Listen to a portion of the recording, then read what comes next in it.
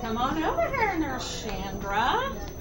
Guess what? You are the Daisy Award nominee. Okay. Let me read the nomination. Okay. I have had three surgeries this year, two, inv two involving stays. Shandra was my nurse both times. As I have been a widow for six years, this could have caused a lot of stress and some sadness. Shandra sat beside me on my bed, talked to me, and was so compassionate. It has helped smooth a lot of my loneliness and sadness at this time. It meant so much to me. I am not a real wuss.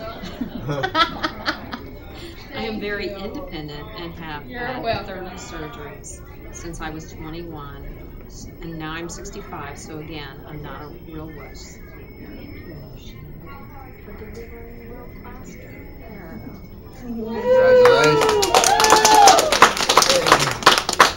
So I don't know if you know the drill, but you get a nice little certificate here.